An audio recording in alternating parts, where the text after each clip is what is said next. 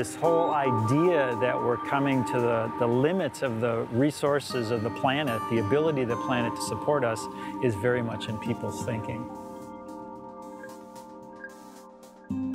It's amazing to, to hear scientists say that without us meeting the challenge of sustainability in this century, we may not even make it through the century. And we're 15 years into that century. I want humans who can use that which they need, but no more. I want to see humans able to be responsible and thereby protect the resources so that the world around them is a strong and healthy world that can endure into future generations. We're sort of at a at a crossroads here as to where we go in the future. I mean, we start talking about nine and a half billion people on this planet here in the next 40 years. We need to make some decisions and we need to make them relatively quickly. I think we don't even fully appreciate all the aspects in which sustainability intersects our daily lives. And think about what's going to happen with how you live your life and how it's going to impact the next generations.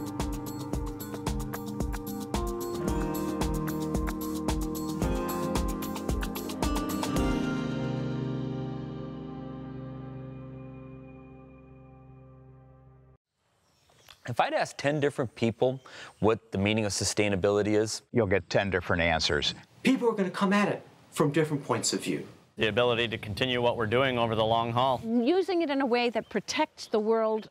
Doesn't have a negative impact. Work like nature. Relationships are healthy between things. And not become degraded. Allowing things to maintain the same quality over time. And thinking for the human race 100, 200, 500 years down the line. Not just for humanity's sake, but for all those other life forms as well. As we think about sustainability in the 21st century, we need to remember that this is not a new issue. This dates back generations, basically eons. As early as the 1930s, Aldo Leopold wrote that the oldest task in human history is to live on a piece of land without spoiling it.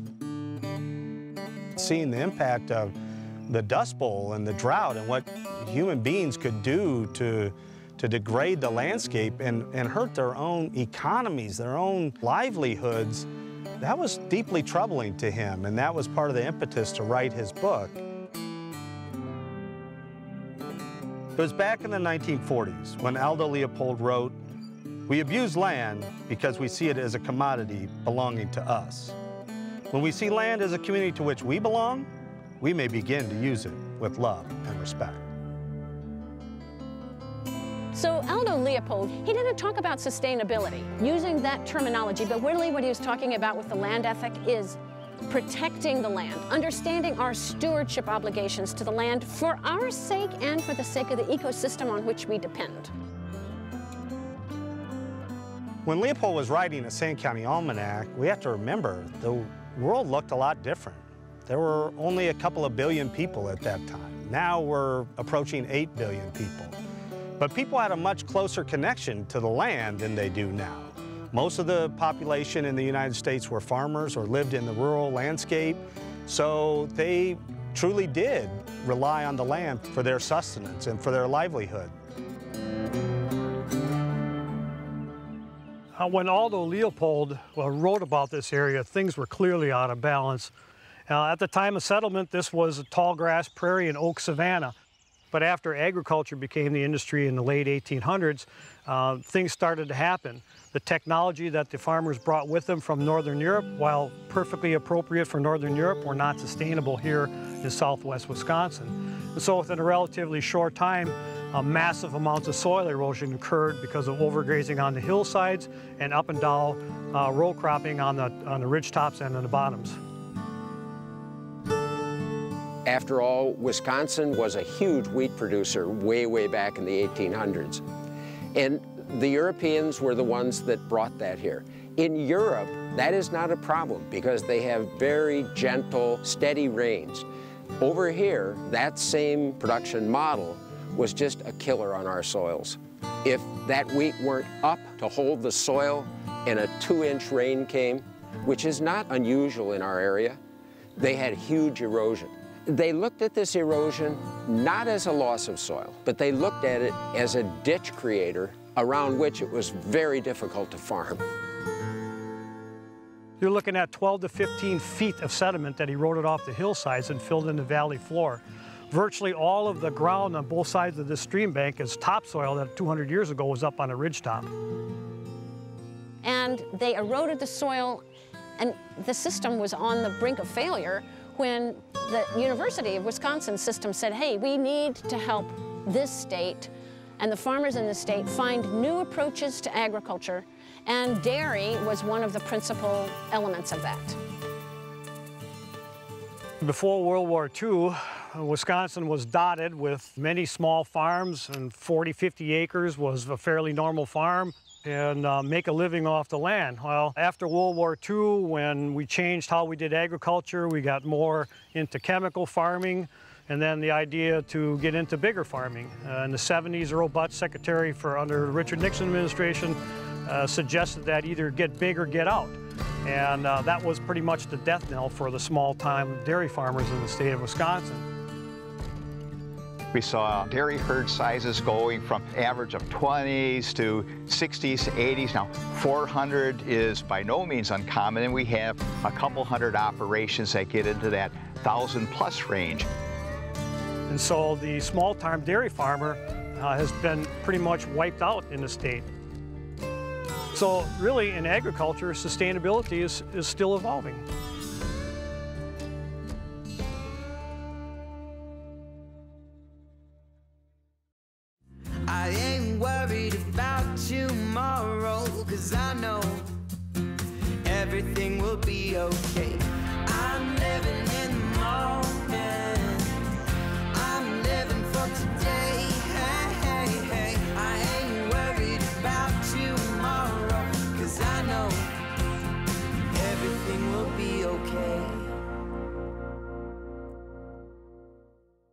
As long as human beings have lived on planet Earth, we have impacted our environment.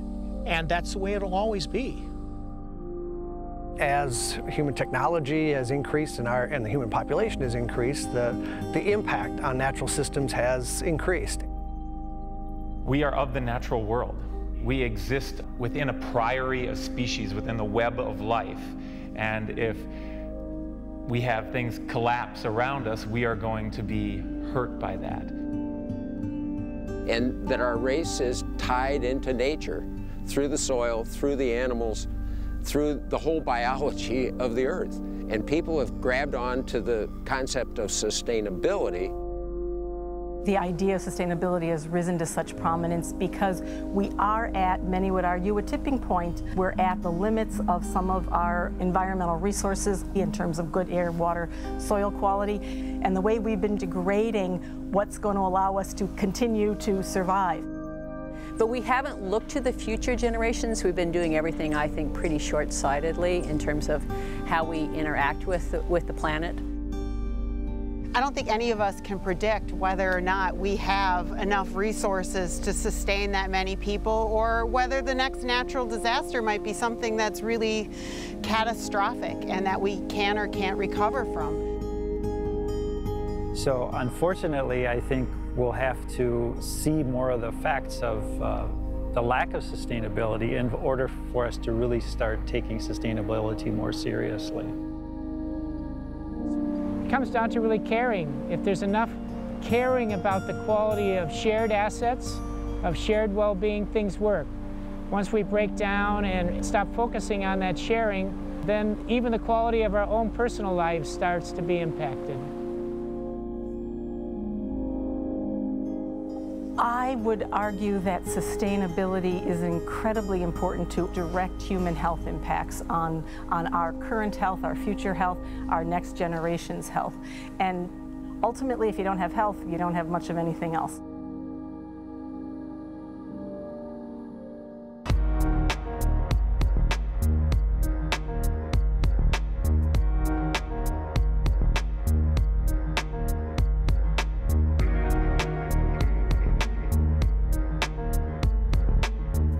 Here's something for you to think about. You know, the food that you choose to buy today and eat today, you know, will become the cells of your body tomorrow. people are starting to pay attention to where their food comes from. They want to have good quality food. They don't want to have all the pesticides, herbicides. They don't want to have antibiotics. They don't want to have some of the issues that are really starting to cause some concerns. And there's no question, there's very clearly documented research demonstrating that the quality of our food has a big impact upon our health. They did a study that looked at newborns and they did cord blood, which you know the first blood that comes out of the umbilical cord. And somewhere around 400 chemicals were in an infant right at, at the time of birth. That meant they were chemicals that came through the placenta from the mother Although it's not been proven, I think one of the big suspicions about neurodevelopmental disorders in kids has to do with the body burden of chemicals that our kids are born with. And, you know, it continues with our food sources. They did a great study on kids where they looked at pesticide residue in the urine. Then all the kids' pesticide levels in their urine dropped when they were eating organic fruits and vegetables. Do we know which pesticides are bad for kids? No, but we do know that pesticides are known endocrine disruptors. We think that they probably have an effect on the neurodevelopmental disorders like autism and attention deficit disorder. We know that pesticides increase your risk of cancer. The truth is that choices people make about what they eat can have a positive impact on their health and a positive impact on their pocketbook. We have 40 known essential vitamins and minerals that we have to get from the food. We've identified over 8,000 phytochemicals that exist in the fruits and vegetables. One of the best ways we can describe phytochemicals is they give the color to all the fruits and vegetables you eat. Phyto means plant, chemical means something a plant synthesizes, and plants synthesize all sorts of substances to help that plant grow and ward off insect attack and so forth. And when we eat those fruits and vegetables and we consume those phytochemicals, they have numerous health benefits. Uh, some phytochemicals are being studied for their anti-cancer effect, for their effects against cardiovascular disease. Uh, the list goes on and on and on and in the importance of phytochemicals. If livestock are eating the grasses, they're going to also accumulate some of those phytochemicals in then the meat products and the milk and the egg products we eat from them, and that's a good thing. But then the other big thing for livestock, organically or sustainably grass grazed versus conventionally grain fed, is the fat profile. And I came out of a lipid lab from the University of California, a fat lab, we called it. For a long time, many of us thought of fat as just as one thing and one bad thing. And in fact, fat is not one thing. There's several types of fats. So there's omega-3 and omega-6. Our ancestors consumed anywhere from about a 1 to 1 ratio of omega-6 to omega-3, or maybe a 4 to 1 for most of human history. So if you look at the American ratio now, instead of 1 to 1, 2 to 1, 4 to 1, 10 to 1 to 20, 30 to 1. And that appears to be a problem in terms of human health. Long story short, getting more omega-3 in our diet, bringing omega-6 down, is clearly advantageous in terms of lowering our risk to heart disease. So we want more omega-3. How are you going to do that with our food? Since about the 1940s, how we raise our livestock, what we feed them, has really changed the fat profile in that livestock. We've gone heavily to grain feeding and conventional operations, and the two biggest components there would be corn and soy. The fat in those, the oils in those, are 50, 60, 70 times more omega-6 than omega-3. And Cows are what they eat, we are what we eat. And so we change that omega 6 and omega 3 profile of the, the cow or the chicken. Uh, so we get a whole, more omega 6, much less omega 3. And grasses contain relatively more equal amounts of omega 6 and omega 3.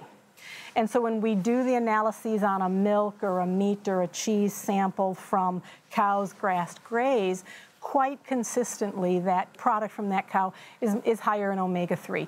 And the ratio of omega 6 to omega 3 in that is a healthier ratio relative to what we understand.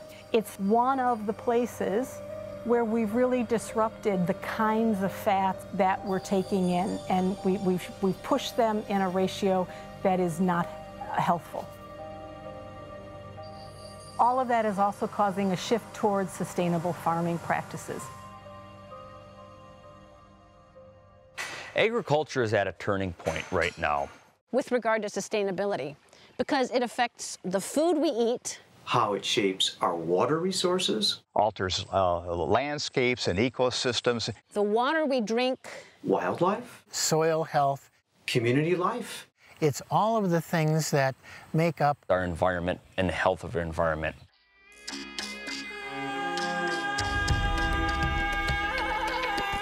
The minute that we started agriculture with our human race, which was about 10,000 years ago, we became, by definition, unsustainable. And the reason is that we were moving minerals and nutrients out of the soil into food and sending it someplace else to be consumed, and the nutrients ended up in that place. When people talk about sustainable agriculture, they're talking about agriculture that does not contribute too much greenhouse gas, that does not pollute the soil, does not pollute the air, and does not pollute the water to an undue extent compared to other industries and human activities. When farmers are weighing the three cornerstones of sustainable agriculture, environmentally sound, profitable, socially responsible, the right balance depends on who you talk to. If you're not making any money, then you can't afford to do the other two. So it has to be profitable at the end of the day. Uh, you have to take care of the environment because that's what we live on. Our land that we feed our animals with is exactly what we need to be passed down. That, that cow won't be here tomorrow. It's going to be the land that's here that we feed the cows with. And socially acceptable because at the end of the day, we need customers. People need to buy our product, and if they don't accept what we're selling and how we're doing it, then it's not sustainable. You have to be profitable enough to make the right choices. The right choices allow you to be environmentally sensitive and socially sensitive. Obviously, we don't want to be hurting our neighbors or our employees. We don't want to be hurting the birds and the bees and the fish. The economics have to work. If, if you're struggling economically, you can't make the right choices for social and environmental issues. The environmental portion, the economic portion, and the social portion can exist independently of each other for a short time, but over the long time, they are entirely intertwined. If one starts to fail, the other degrades. We tend to think that they're standalone and that they might even be competitive with one another, but in the long run, they're synergistic. And that's the interesting thing, to imagine that they are synergistic. When one flourishes, the others are enhanced. And so you can't really separate one from the other. It's all connected. It's sort of like a body. It's like saying, could your body function without a liver or could your body function well without a lung? Well, no, it can't. It's all tied together. It's all part of the system. And I think that's part of the problem is we have a tendency to look at things in pieces and not necessarily as a whole.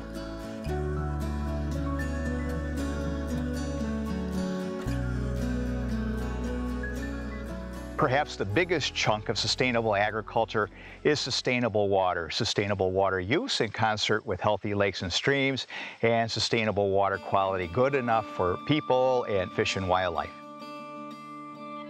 High water quality and all the benefits that brings in terms of tourism, recreation, economic prosperity to communities is just as important as other land uses within that watershed that are impacting that water quality.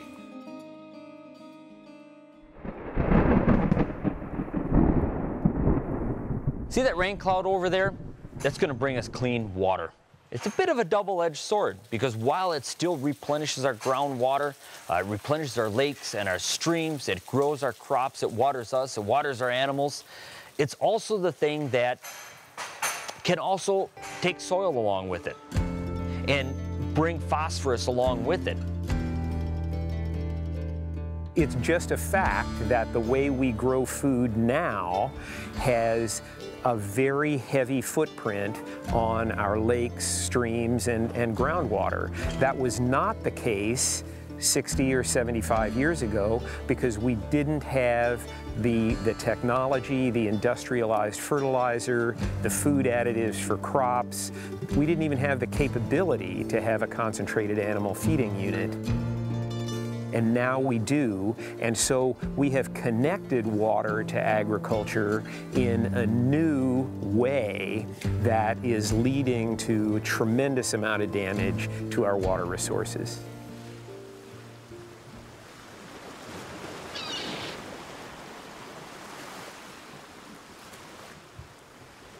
Look at this huge body of water that we've got here, and people take it for granted that it's, it's endless. We, we live on the Great Lakes. There's so much water here. But now we're recognizing that it, it's not endless. It's, it's the resident time of, of what we put into this lake is, is a long time. 100 years, I hear, that it takes for what we put into this system before it exits Lake Michigan. This body of water here is the source of drinking water for so many people around the Great Lakes, including the city of Green Bay and the suburbs. I think the average person isn't really aware of the problems we've got in the Fox River and Green Bay. But this is a really important issue. Drinking water, that's right at the top of my list. Without that, um, what do you got? There's tremendous nutrient flow from the Fox Valley that comes into Green Bay, and Green Bay is a somewhat confined region of Lake Michigan. As those nutrients come out of the Fox estuary, they don't mix into the lake, they don't get diluted right away. So Green Bay is definitely a pocket that's susceptible to pollution. So the, the bay is really a reflection of what's happening in this watershed. By the 1970s, we had pretty much cleaned up the human sewage problem, but the runoff from agriculture had more than replaced it. So the sources of phosphorus are either fertilizers or uh, manures primarily. There is some natural phosphorus, but again, most of it's coming from manure and fertilizers. And when we have high phosphorus in the soil, it's vulnerable to loss. Phosphorus tends to stay connected to the soil particles and the organic matter the most, not real soluble, but when we have excess in the soil, or when we lose that soil from the landscape through erosion, then the phosphorus gets into the water. We know that much of what runs off the landscape happens in just a relatively few days a year when we have larger rainstorms. And that's also when most of the phosphorus or products that come from animal waste or from other fertilizers and from soil get off the landscape and get into the water. Uh, what's going on in the bottom in Green Bay is really important, uh, especially when it comes to dissolved oxygen. You may have heard about the hypoxic zone or the what they call the dead zone. It's a, an area, the bottom water, which has very low and sometimes zero dissolved oxygen, and so that's tough on organisms. Uh, and so that's a that's a that's a problem in Green Bay. It's a problem in Lake Erie. It's a problem in the Gulf of Mexico. There are probably hundreds of hypoxic zones around the world, all driven pretty much by the same problem, and that is you know, excessive nutrient loading or phosphorus and nitrogen coming in from the landscape. And the reason that's important is because while there's a lot of oxygen in the atmosphere, there isn't much in the water, so there's much less of it available for breathing, for life underwater. The main issue is the supply of nutrients, and that phosphorus feeds a lot of um, algal growth and phytoplankton growth in the bay. When all those algae and phytoplankton die, the bacteria that degrade that new fresh organic matter, they breathe in oxygen and breathe out CO2. And what that means then is that there's just less oxygen available for the life that needs it. This is a non-nitrogen fixing cyanobacteria.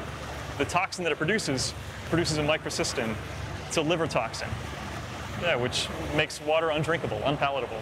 Uh, The citizens of Green Bay haven't gotten their water from Green Bay for a long time, so it's not directly a drinking water issue for the citizens of Green Bay but it's still a, a, water quality problem.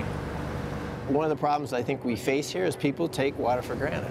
These lakes are simply a reflection of what happens on the land. For all intents and purposes, anything you throw, toss, leak, or let get into the system, if it goes in today, there's a good chance you will drink it tomorrow, if not tomorrow, sometime in the future. Because right now, the environment subsidizes most of our activities. We do not pay for dumping stuff in the lake. We use that as a, a, repository for our waste, and that's not right. We can't continue to do that.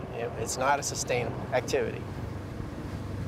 You know, somebody said the future has no constituency, and that is so true. Your great-great-grandchildren can't come back to you and say, why didn't you do X, Y, and Z?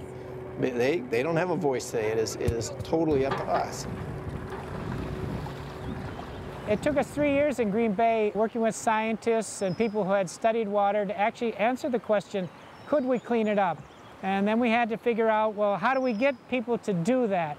And that's the challenge. We're into now a couple decades of effort to try to see if people can make the changes that are required. We know what those changes are.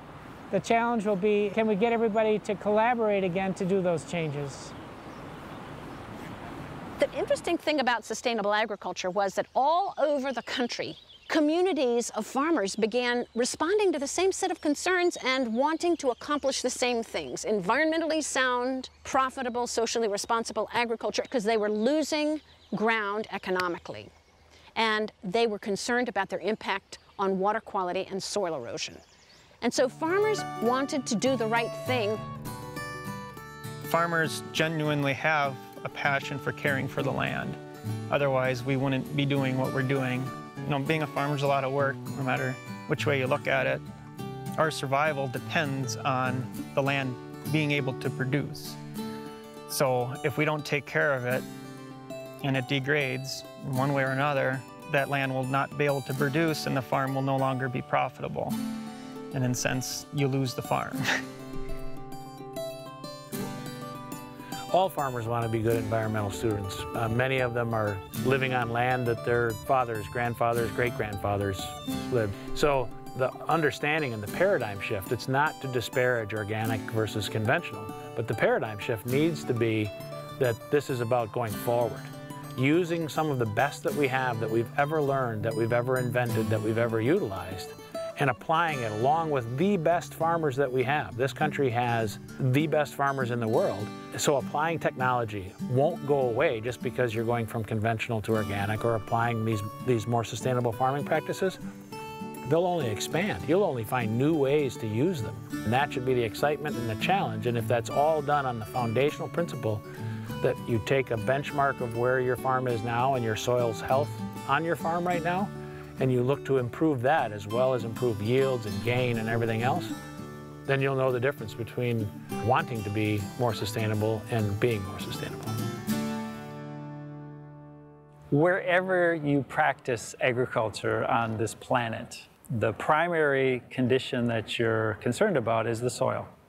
So the type of soil, the depth of soil, the slope all have an enormous amount to do with the way that you manage that land in order to maintain the health of the soil, the sustainability of the soil, the ability of the soil to continue to produce crops and food. Soil. Soil. Soil. Soil. Soil. Soil. Soil. And it always comes back to protect that soil because the health of our soil basically reflects the health of our plants and the productivity of our plants and our forages, which directly relates to the health of our cows. And if all of that is in balance, we've got a very environmentally and an economically sustainable operation. So all of these minds are coming together, and what they're all realizing independently is that the soil has a tremendous role in correcting each individual issue and the intersection for all of these areas, whether it's climate change, whether it's human health, whether it's animal health, environmental health, and the one intersecting point, the one dot that all the lines cross through is the soil. The other non-sustainable issue, it's soil. We are losing soil to grow crops in at a fairly high rate. It takes 100 years to build an inch of soil. This is science. As we erode these soils away, you suddenly have five or six inches of soil that can be lost over 100 years and only one inch will be replaced. And so this may not seem very severe to somebody who's 60, 70 years old, but it is going to be severe for their offspring's offspring's offspring. There's scientists around the world that are looking at the fact that in some parts of the world there's there's only about 60 years worth of topsoil left. And in some parts of the country, even in North America, we have soils that are so degraded that the farmers are not actually farming on topsoil anymore, they're farming the subsoil, the soil that was below the topsoil. We can lose an incredible amount of soil if we do not protect it. And if we lose our soil, we lose our farm. We've all seen the phenomenon of these intense rains. We're standing here in a day where we just got a two inch rain north of here in less than an hour. They're serious. And the only way that keeps soil on the ground during these rain events is permanent ground cover. One of the biggest things is to keep it where it is. It needs to be underneath the roots and underneath our plants in order for them to grow. And that's how we continue to increase the organic matter on our farm and in our soils. We can't afford runoff. We can't afford soil erosion. When you talk about soil health, organic matter or the organic content in soil, you know, is one of the key indicators and it's huge. Organic matter is where the nutrients are stored. Organic matter is where the beneficial biology is housed it holds two and a half to three times its weight in water, so it's also where we can mitigate stormwater runoff and also store water in fields instead of having it run off, which benefits both the environment and the neighbors around the farm as well as the farm. For every 1% we can raise a farm, field, or soils organic matter, for every 1%, we can store an additional 16,500 gallons of water per acre. But it also is going to help keep groundwater clean and surface waters clean. The organic matter in soil is the sponge. So if you hold it uh, and it doesn't run away, it doesn't take the valuable soil, the valuable topsoil itself with it, and it doesn't take the nutrients with it. By increasing the organic matter, you know, that's gonna, that's not only gonna have the biology that's gonna naturally cycle the nitrogen and other nutrients from the atmosphere, but it's going to hold on to any of those inputs that you apply, whether it's manures, organic, or conventional fertilizers.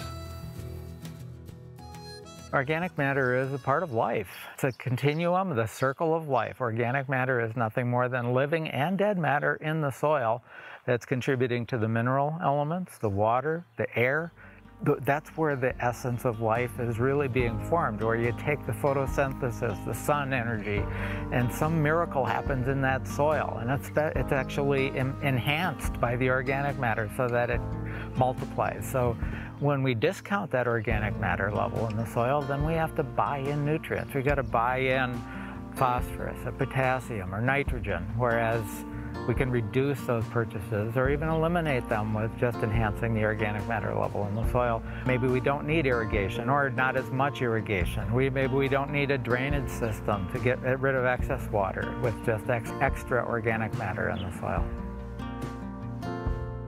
So when we till the ground regularly. We're exposing the ground several times in the course of a year and it's loosening the structure that's in place. So if you make it vulnerable to a rainfall event, and we have had more and more heavy rainfall events, that soil is not being held together by the roots of the plant and it can be washed away very easily. And every time you till the land, you're actually oxidizing that carbon and it's actually what's captured in the soil is going back into the atmosphere.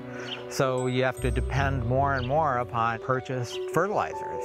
Whereas if with organic matter, that's the equivalent of multiple bags of fertilizer as long as you have a viable live organic matter in the soil. We've destroyed a lot of the glues and the organic matter that are in our soils, our existing soils, by doing the tillage. So when we're doing the cover crops and doing the no-till, what we're trying to do is we're trying to reestablish the organic matter that's in the soils, the glomalin that's in the soils, which is basically the glue of the soils that holds these soils together, and to try and stop the sediment and nutrient runoff and also increase the infiltration in these soils here as well. The truth about adopting more uh, sustainable agricultural practices, you know, through the use of biomimicry and increasing organic matter and biological life in your soil and reducing inputs, is that it, it can be done. It's, it's happening on farms. On our farm, we've been able to take some fields in as little as five years and increase the organic matter 1%. That equates to hundreds of thousands of gallons of water, additional water, that wasn't stored in those fields before being stored in those fields. That, for me as a farmer, means my crops drink that. That, for me as a farmer in this community, means that the water from my farm doesn't make it to the lake.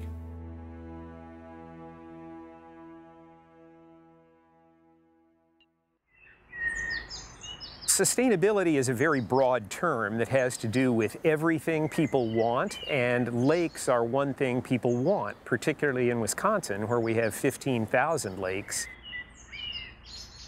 Part of sustainable agriculture is having sustainable waters. The two of them go together.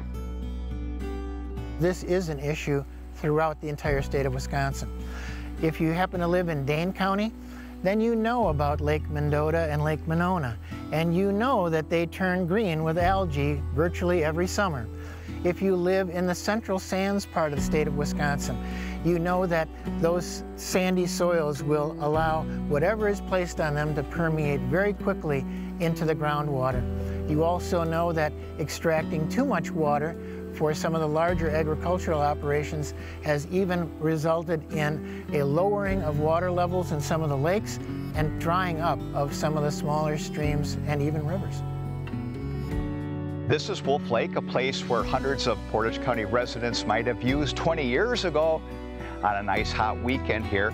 The lake has been drawn so much by pumping here that this lake is no longer usable for fishing or swimming. The science here conclusively ties pumping to low uh, water levels in lakes and streams and aquifers. Wolf Lake here, as well as the other lakes, are attached to groundwater. You pump groundwater out for other purposes. Water levels go down, levels in lakes go down, flows in streams go down. This issue was already known in the 1960s or 1970s. By 2005, pumping had developed to a point where that during a very modest dry period, we saw uh, lakes disappearing and, and streams drying up. All waters are waters of the state. That means this Wolf Lake here, the Little Plover River, many of the other lakes and streams in central Wisconsin that have been impacted by pumping, they are something that all Wisconsinites have taken as a loss. The sustainability stool of, of, social environment and economy has become unbalanced here, uh, cer certainly on the environmental side. Uh, might, others might argue also on the economic side here because lakes like this are the calling card for places like Portage County to get new business and young people to come in. And so for the last 11, 12 years, this has been at the forefront of a lot of discussion of water sustainability. Well, pretty much this whole region, the whole Central Sands is all irrigated. We couldn't be growing crops here without it. Uh, we have one of the most well-replenished aquifers in North America here. That we can't we can't farm without it. Here we have some surface water issues on the divide kind of between that you can see maybe in the background between where water rain would fall on this side would end up in the Mississippi River. If it fell two miles to our east, it would end up in Lake Michigan. And so there's some challenges along that area where, where they don't get a lot of runoff from rainfall. You know, right now this pumping impact is fairly localized to this area of 100 miles by 50 miles. And if you're a person that doesn't recreate on lakes and streams, you might not even see it when it's in your backyard. And so it's a local, very serious problem. It's spreading to other parts of the state, but it hasn't grown this politically critical mass. You know, the other thing about the Central Sand situation is that this is sort of a canary in the coal mine. Farming practices also have impacts on, on the water quality. Uh, the chief impact is, is nitrate pollution. There's a drinking water standard of 10, and it's very common to find 20, 30, 40 in the groundwater in this area. To a lesser degree, there's pesticide residues that come along with it. What we tell people is if you, if you have well water in, in Wisconsin, you should get it tested for nitrates. If you have high nitrate levels, then you should really consider getting it tested for pesticides. UW Stevens Point has a great groundwater resource center where people can look online if you look up UW Stevens Point and find out what wells were tested for in your area and it kind of gives you an idea about what you want to pay to have your well tested for. Those of us that live out in the country or even in a small town like Coloma, 450 people, um, certainly what we do on the farm has an effect on those people. But environmentally, through our work with the World Wildlife Fund and the UW, the practices we do are much more thoughtful, much more focused on their impacts than they would have been 20 years ago. There's about 100 different diseases and pests that potatoes are susceptible to, and potatoes are pretty intensively managed. We use integrated pest management. The sand is a great system. You put nutrients in, you get crops, nutrients out. Um, but it's also an incredibly efficient leaching system if you're not using nutrients or pesticides efficiently. So it's, it's not sustainable for us to be flushing nitrates into the groundwater. It's not, obviously we've paid for those nitrates and don't want to be doing that, but also it's not a very neighborly thing to do. So we spoon feed, which means we make lots of very small applications. We're very wary of the weather because if we put a bunch on and then we get an inch or two rainfall, it flushes through the system and then ends up in the groundwater. I think in the current time with emphasis on business and no regulation and what people perceive as creating lots of jobs are trumping whatever environmental concerns there are, no matter how modest. The old axiom is it's easier to argue about the science than to argue about the policy direction. So if we can argue and cast aspersions on, on the science and say it's doubtful, that's an easier thing to argue than saying, hey, pumping is drying up the lakes and streams. Should we continue drying up the lakes and streams, or should we develop some management strategies? And a lot of times, frankly, it's easier for them to ignore the science or, or push it to the side because the science complicates the decision making. People are tricky creatures, the, the way we perceive things and the way that we act upon them. And the future is uncertain. Until something happens in the legislature, it's going to be back to the Wild West days where we're going to be permitting high capacity wells anytime pretty much that somebody wants them without regard to lake and stream health here.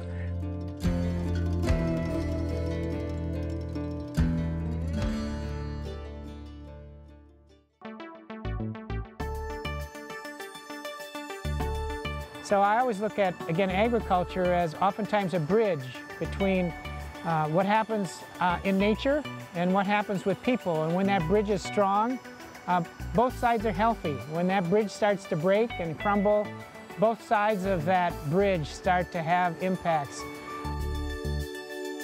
But you know, I hear farmers, mainstream farmers in the state, who say it's time. We ought to be responsible. We want to be held responsible. We are stewards and we're proud of our stewardship. We don't want to have bad actors contaminating the water and ruining our reputation. We are all in this together. And we have to realize that each one of us has our own separate strengths so there's a lot of room for a lot of farming systems under the umbrella of sustainability.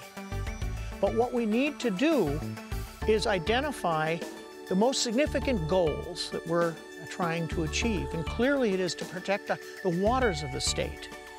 Clearly it is to keep our soil in place. And clearly it is to raise healthy food. I am uh, so excited about the way agriculture is thinking about things, how the producers are, are looking at how they can make a, a profit and keep the soil on their land, keep the phosphorus on their land. That's good for them, and it's good for our waterways. One of the things that's been happening is we have a lot of farmers in the state in livestock and dairy that are very interested in finding new ways of handling and feeding their animals. A lot of them are trying managed grazing. Uh, the managed grazing programs are designed to allow a person to, you know, raise uh, either uh, milk or beef off an acreage and do it in a way that, from an environmental standpoint, really has no impact. A well-managed pasture, the manure stays on the pasture, there's no herbicide, pesticide runoff, there's no soil erosion, and so many of the issues that as a biologist I would have had with uh, conventional ag systems pretty much disappear with, uh, with a grazing system. The grazing community is not only a way for people to maintain, uh, make a living at it, but it's also a way to fundamentally rebuild the rural community, which in my mind is, uh, has been suffering a long time since the, since the 1970s.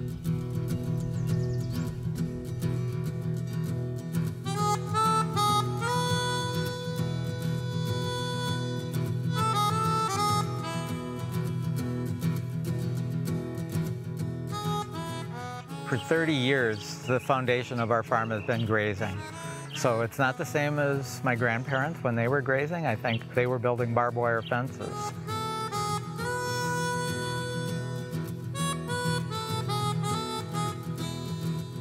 50 years ago, New Zealanders were developing a low impedance energizer that was able to transmit electricity on fencers and being able to do a better job of containing those animals, not to mention the, the portable reels and the poly wires, so that we can change fences more often, being able to handle a larger number of animals, being able to move them frequently and actually utilize the pasture better.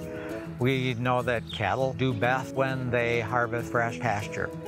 An old friend of mine, he said years ago, there's two things always happen when you cut hay.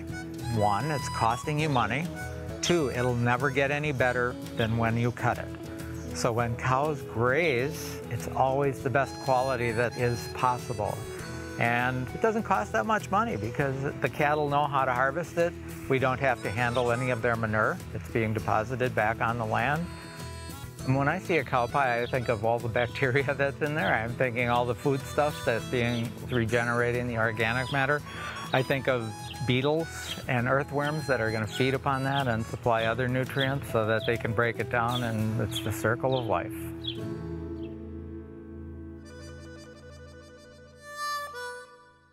Managed grazing is what really brought us here. That was the most sustainable way for us to get started farming from an economic and an environmental standpoint. So in essence, our cows do a lot of our work through the growing season. Plants have roots, cows have legs. Send them out to do what they're naturally supposed to do for millions of years on this earth and go out and graze good, high quality forages. Uh, basically harvesting their own feed and bringing milk back to the barn.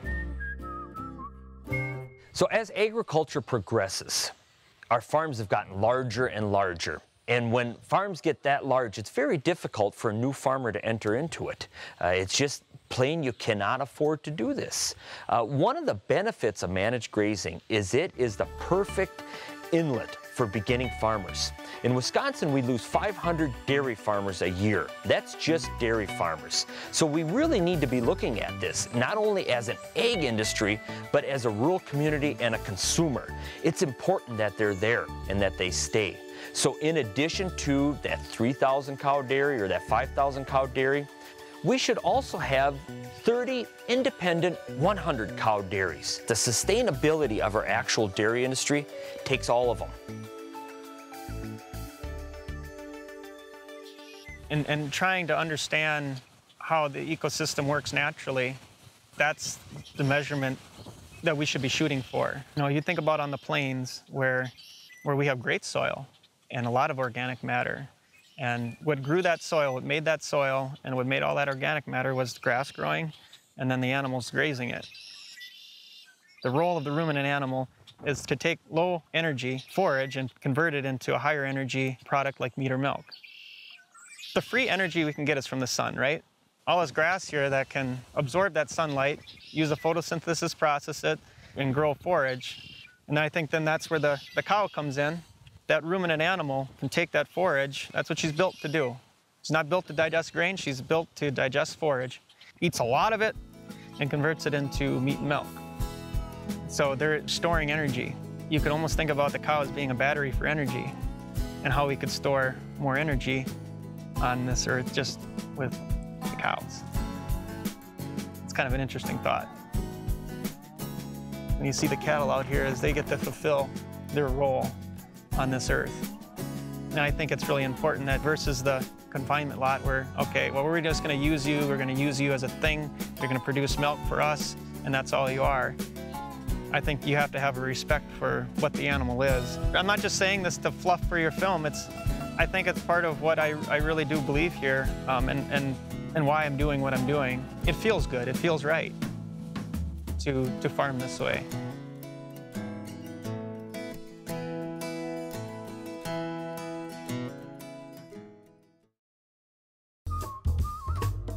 Sustainable agriculture can mean a thousand things, but let's talk about one of the biggies, and that's that 500 pound gorilla out in the field. It smells like manure.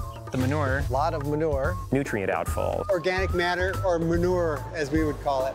Product that the cow, that we'll refer to as, as, as organic manure that comes out of the cow. Waste product. Manure can be a fantastic resource, and it can also be a fantastic problem. When you think about how many quadrillion gallons there are in the Great Lakes Basin and in the Bay of Green Bay, to be able to put enough nutrients in that water to cause what is happening here means we're putting in a very substantial amount. What's happening in this lake will impact everyone in Wisconsin, most certainly.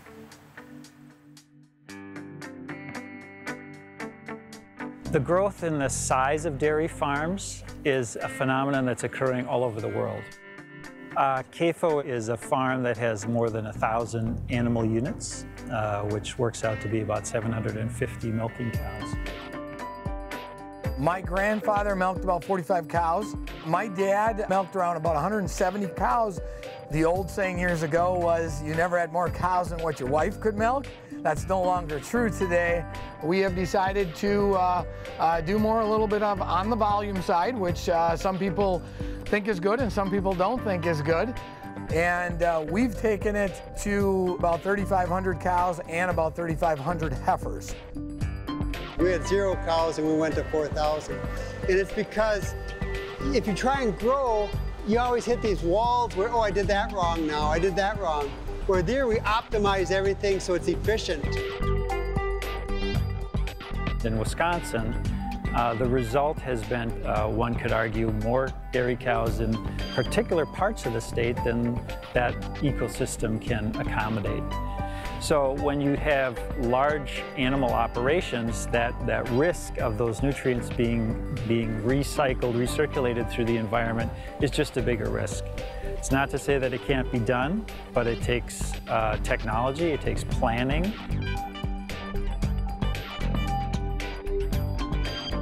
Why do I think uh, large animal operations are so much in the spotlight right now? I think they're an easy target because people don't understand how they operate because they don't understand it. They fear it a little bit. They're large. People are a little fearful of large. So we have 8,000 cows. So maybe some people really view that we need to stay like we were in the past with small operations. And there's a place for that, but there's a place for large ones too, I believe. Sustainability versus domination. A CAFO is a form of domination, economically, socially, and environmentally. But people view that as a, a, a metric of success. And so if you're thinking within that system, like if I can get this many cows in one space, that will be success, you're at odds with other systems. And increasingly, the legal system is taking notice. Especially the Wisconsin Supreme Court at the end of 2015 issued a ruling that indicates manure will be considered a pollutant if it contaminates a neighboring well. Each cow produces about as much waste as 18 humans, and if you have 1,000 or 5,000 cows at one spot, you can think that's a lot of animal waste that needs to be dealt with. We don't have the infrastructure at our farms like we do in our communities to uh, treat that waste, and often it's easiest to spread that manure near the place where it's generated. So quite frankly, I think you know, there's sort of a carrying capacity issue. Do we have enough land for the amount of manure that's uh, generated, particularly in this watershed that leads to Green Bay? So how do we handle our organic matter, or manure, as we would call it? First of all, it all gets collected and goes through a digester, anaerobic digesters in both dairies. So we make electricity with it. Um, then we separate the fiber from it. We'll dry that fiber for bedding for our cows. And then that liquid portion we store. We have about 13 months storage, so we don't have to do any winter application, and we do a lot of summer application.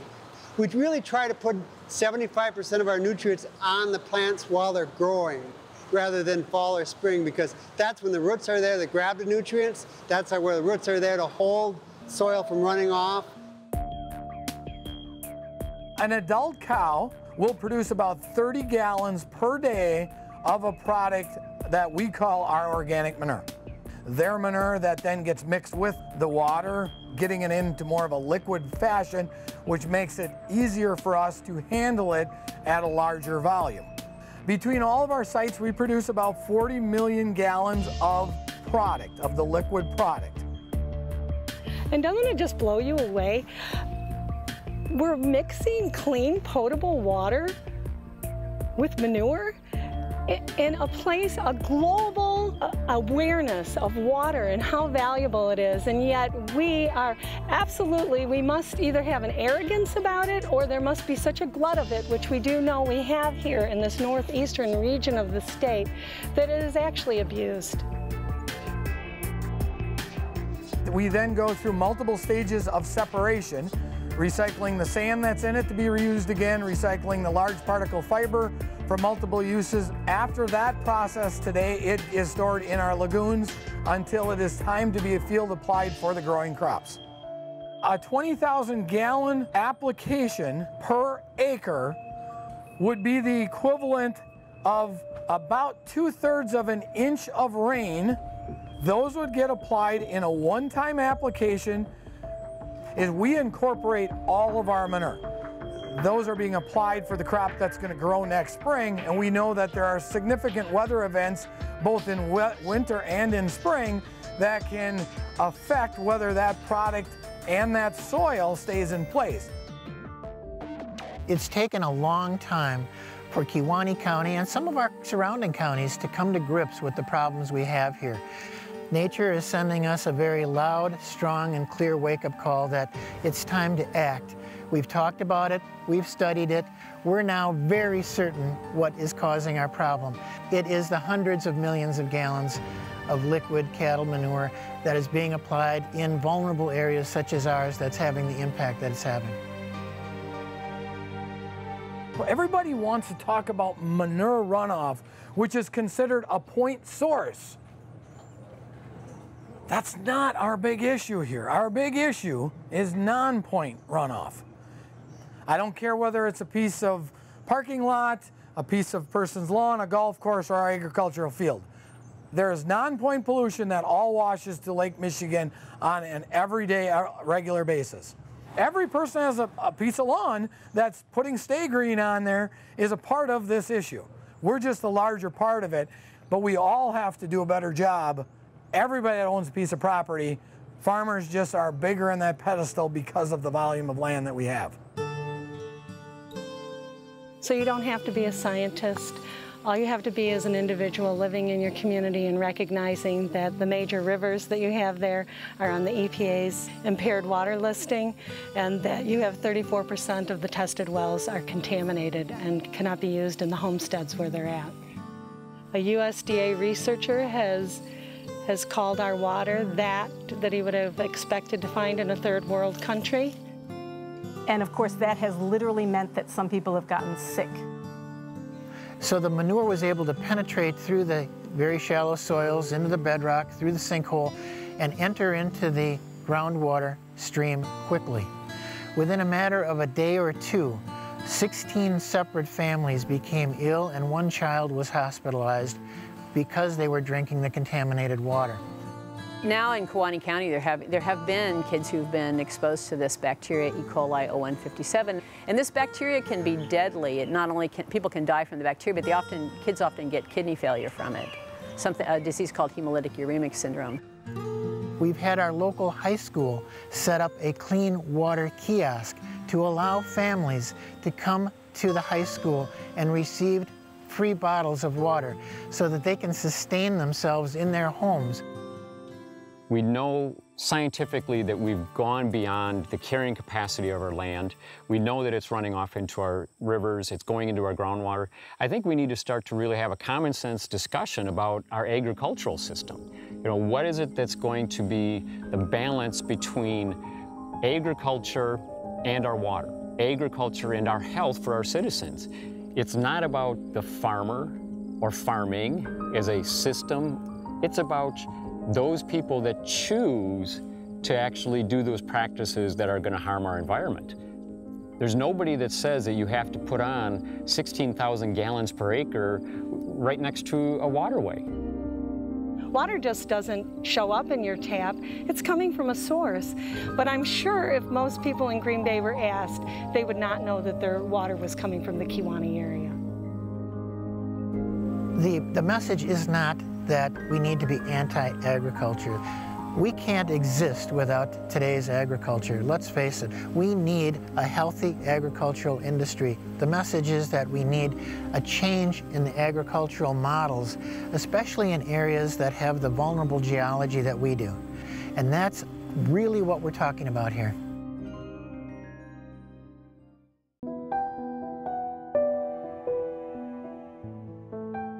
People would be outraged if we dumped large amounts of human waste into Wisconsin lakes. We need to get to the same point with livestock, where we realize it's not a great idea. We can't deny that our water quality is going down. It's a scientific fact. Farmers are now committing to be a part of it. They've even indicated that they recognize that they're part of the problems, and that is a huge step we have to start looking at other tools that revolve around permanent ground cover and soil loss. We can't be status quo and say what we did before is, is, is good enough. We have to continue to get better. Where it used to be commodity based, now all of a sudden we're talking about maybe these priorities need to be environmentally based that sense is now shared by those in our DNR and uh, DATCP and also the EPA. We all have a part in this. It's just that agriculture offers this golden opportunity, but we need some really talented conservation staff, good agronomy staff that can build a relationship with a farmer, which could be beneficial to them and us and the water. It isn't that we have a manure problem. I believe that it's more we have a water problem. We need to take the water out of the manure and make two more concentrated manure products that, that we can apply when the crop is growing. To get this liquid out, we're going to need some form of ultrafiltration. We're going to need some sort of reverse osmosis. Some people do think science is a simple solution, and a lot of people are working on better technology for controlling phosphorus, but we're not there yet. And the technology we have now is pretty expensive. It's like providing sewage treatment for cows. Uh, we don't need to be using water to flush down barns. You know, nowhere in nature do any animals all stop and defecate in one big hole in the ground, other than man.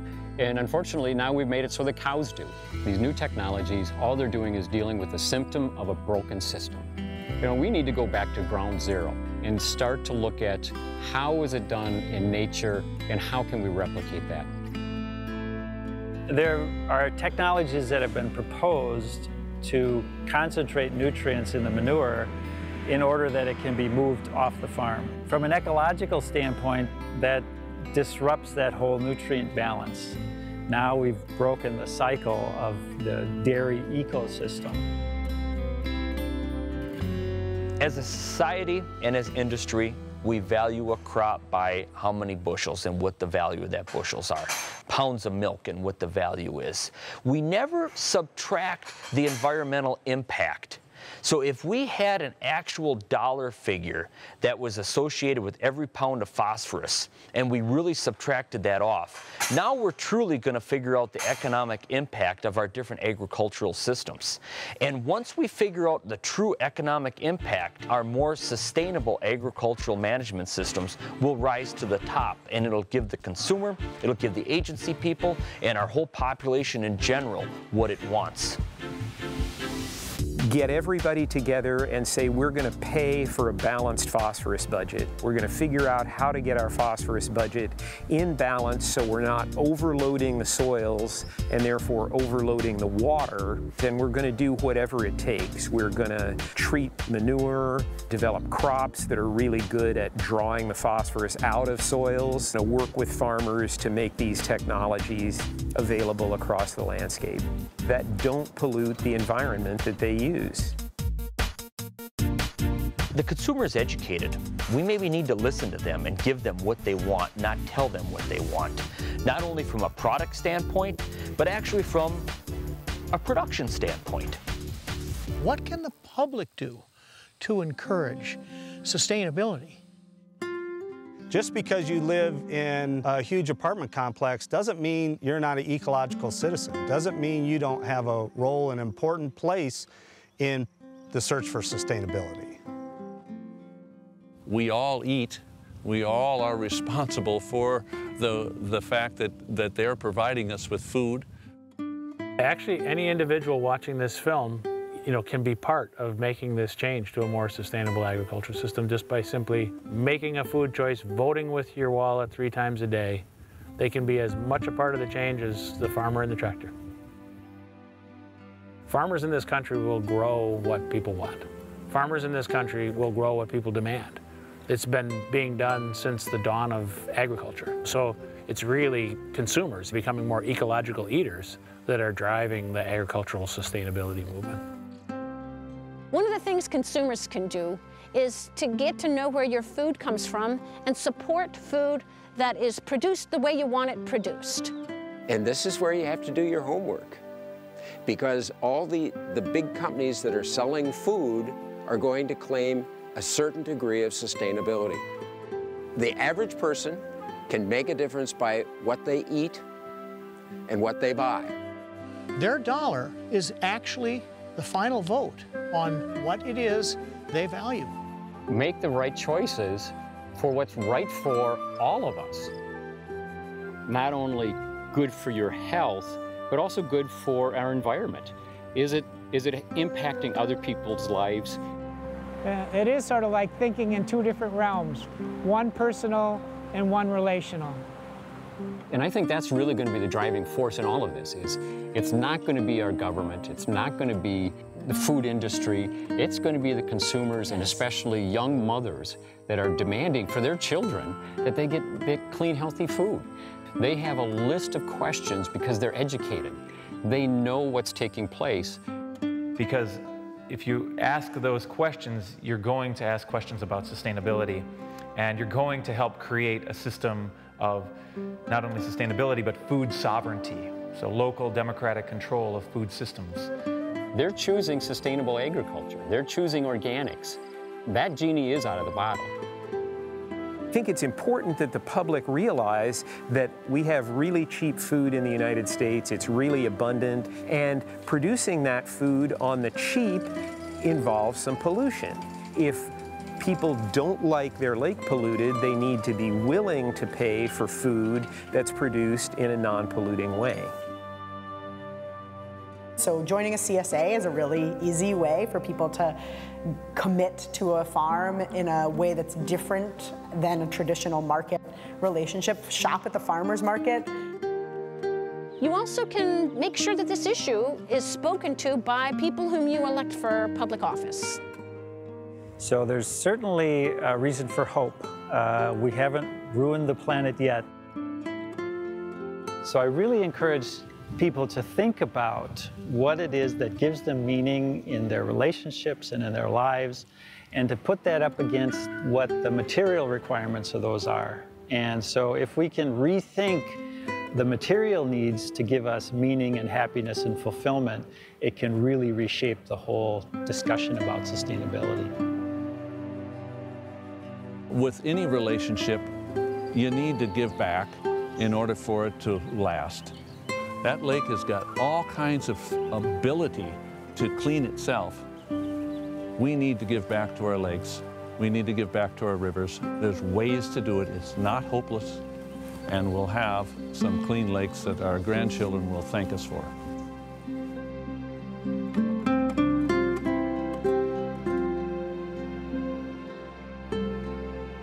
Funding for this program was provided by